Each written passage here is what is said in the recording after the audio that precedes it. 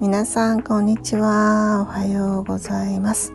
エミです。ロサンゼルスからお送りしておりますが皆さん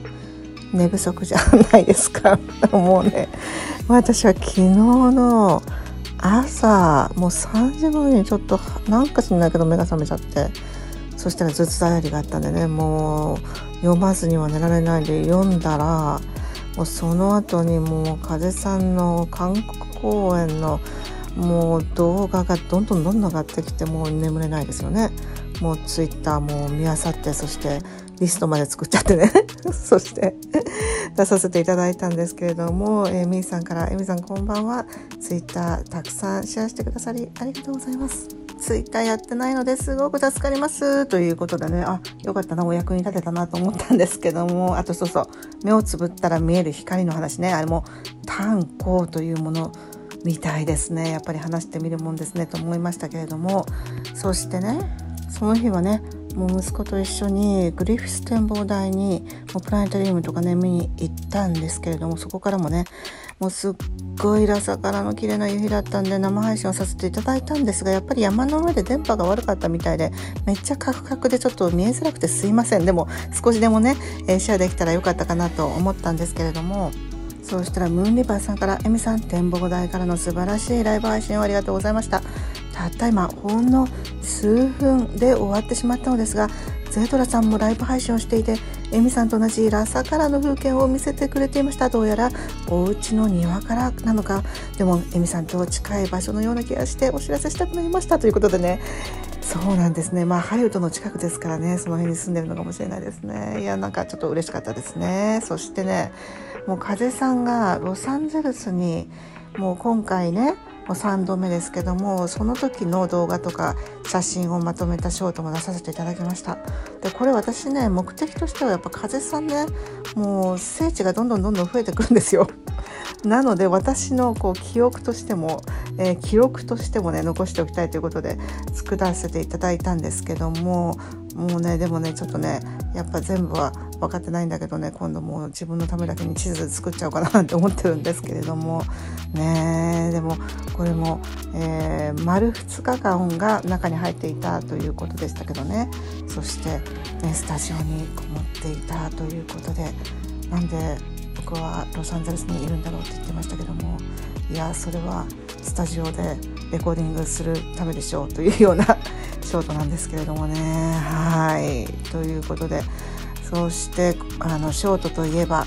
カズくんもね韓国のソウルツアーのリキャップということで出してくれてましたけどこれ自分で運んでるのってびっくりしちゃったんですけども風さん指大切にしてねって感じですよね。もう大切な 体ですよ。本当にこんな自分でやってるんですね。びっくりです。そして韓国の夕日ですね。そして韓国料理を食べてそしてこちらでね練習をしてそしてもうスタッフでねもういつもながらおにょにょしてそして韓国のねカバー曲ですよ「ディート」を歌ってくれましたね。これ各地でいろいろヒット歌ってくれるんでしょうね。その国のね流行ってる曲なのかな。楽しみですね。そしてもうめっちゃキャーキャー言われてましたね風さん。嬉しかったでしょうね。現地の人がね多かったみたいで。嬉しかったですね。ということでこういうショートを各国で出してくれるのかと思うとめっちゃ嬉しいんですけども。そしてこれはインスタのストーリーでね上がっておりました。こちらもね風さんへのメッセージ、ね、韓国の、えー、スタッフの方からもねそしてハート。嬉しいですね。もうねやっぱりこうやって私たちも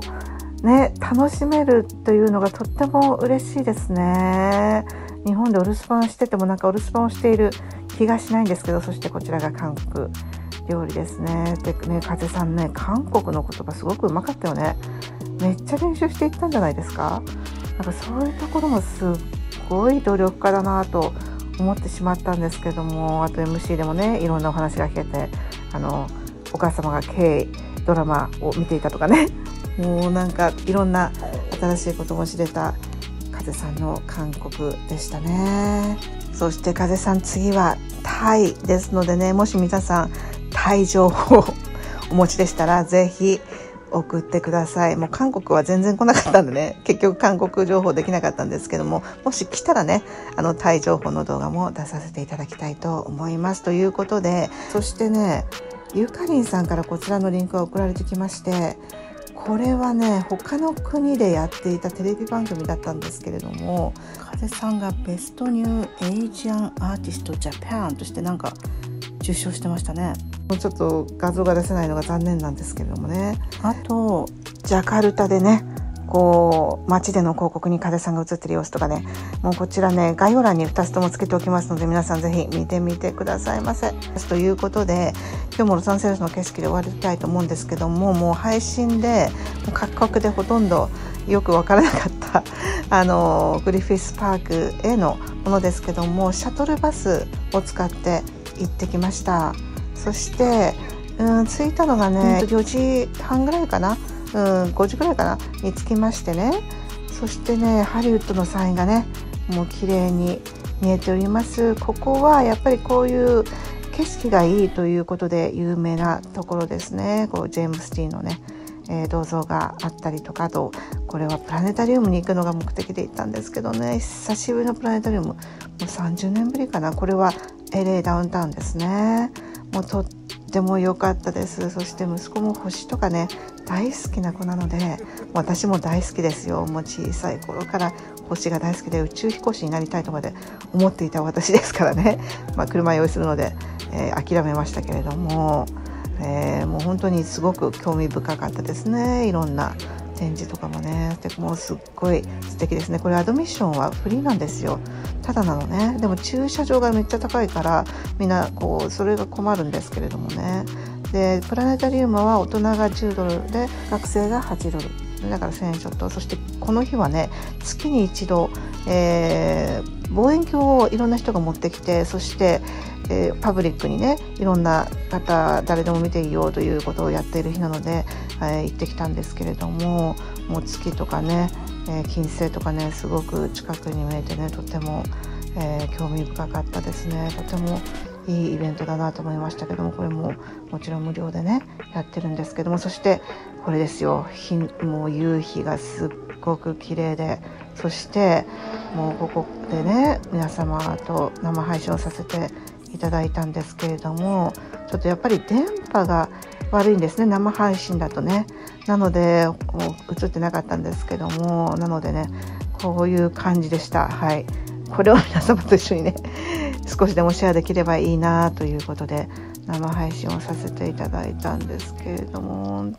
当にね綺麗でした。それでこの遠くに見えるかな山のところにね上の方にあるのがハリウッドというふうにね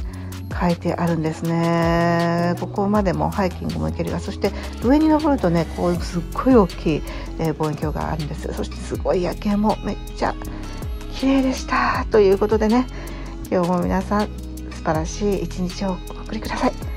Have a beautiful day everybody. あちなみにねこの日もね張り切ってね風さんの T シャツを 着ていったんですけども誰かに声かけられないかなと思ってね。で声はかけられたんですけれども あの風さんの T シャツのことじゃなかったですね。いつかは声かけられるのが夢です。ということでエイミでした。ではまた。